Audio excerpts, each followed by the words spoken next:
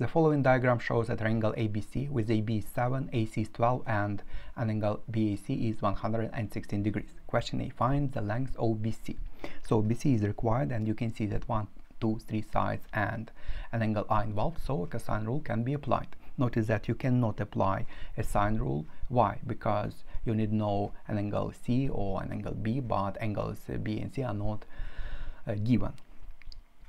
And a formula for the cosine rule is given in a data booklet and it says that c squared is equal to a squared plus b squared minus 2 times a times b times cosine of the angle c. And notice that this side and this angle are opposite. And the only known angle a to be involved I write uh, cosine rule for the side BC it's not because uh, I need BC it's because there is only one uh, given angle if it would be given for example an angle B instead of an angle A I should write a cosine rule for AC and then solve for BC so BC squared is AC squared plus AB squared minus 2 times AC times AB times cosine of BAC. Hence, BC is the square root of AC 12 squared plus 7 squared minus 2 times 12 times 7 times cosine of 116 degrees. And using a calculator it becomes 100 and first of all we should check there must be degree mode.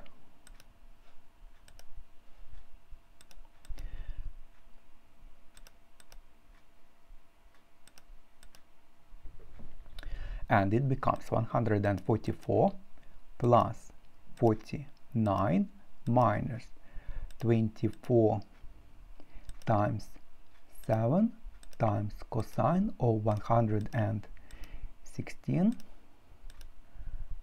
and then a square root and it's 16.3 to three significant figures. Question B. Find an angle ACB. So you can see that you can apply a sine rule.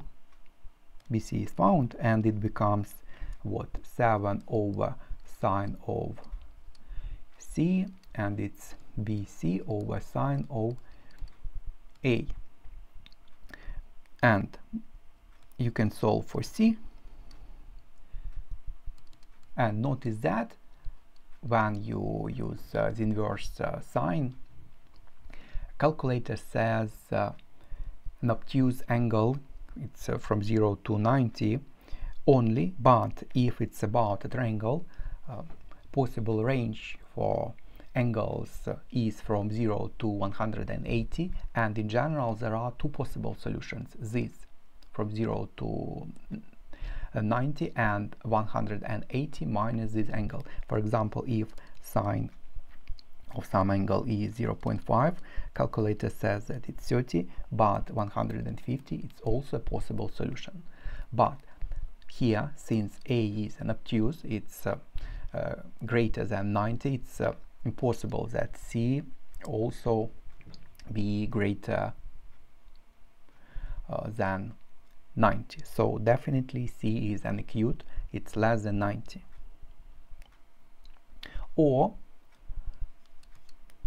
again one two three sides and an angle are involved. So we can use uh, cosine rule uh, directly for cosine of c. Formula is given in the data booklet and it says that cosine of acb is and minus this side with minus it's opposite. It's opposite. So it will be minus uh, ab squared and here it's ac squared plus BC squared and divided by 2 times AC times BC.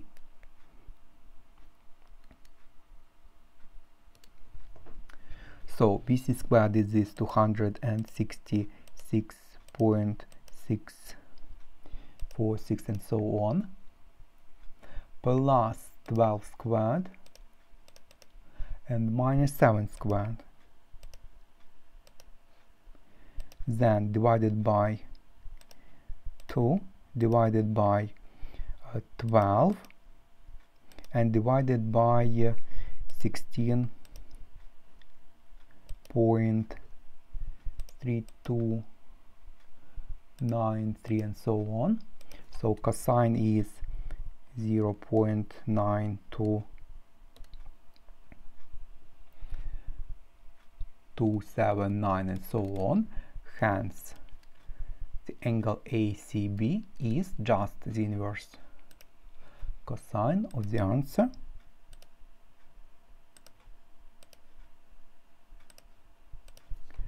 And you can see it's uh, 22.7 to three significant figures degrees.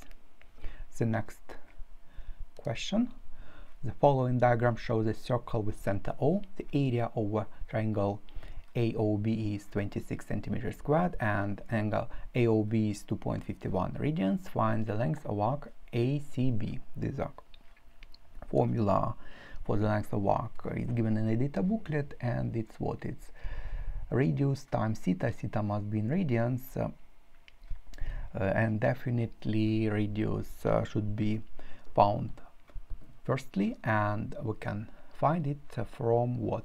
The area of triangle AOB and what is the area of triangle AOB it's a half uh, times one side times another side times sine of the angle between them. So it becomes a half times OA times OB times sine of 2.51 uh, which is AOB and OA and OB uh, reduces so it becomes a half radius squared times sine of 2.51 and it's 26 so radius can be found and it's, it becomes what? 52 divided by sine and then square root. And first of all there must be radian mode. And it becomes 52 divided by sine of 2.51 and then square root. And it's uh, 9.38 to 3 significant figures centimeters. And then the length of arc ACB becomes. Formula is given in the data booklet and it says that it's uh, R times theta. Theta must be in radians and where is theta? It's uh, where is the corresponding angle? It's this one and it's what? It's 2 pi minus 2.51 so r multiplied by 2 pi minus 2.51